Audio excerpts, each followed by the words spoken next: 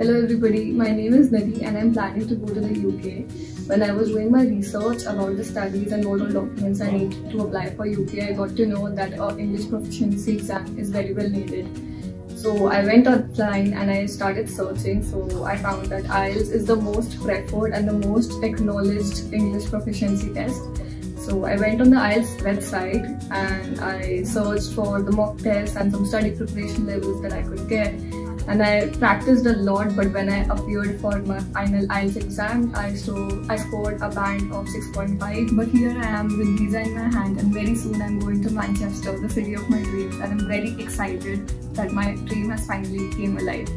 I will advise you all not to listen to people and just go ahead with IELTS and fulfill your dreams to move to UK. Thank you. See you soon guys.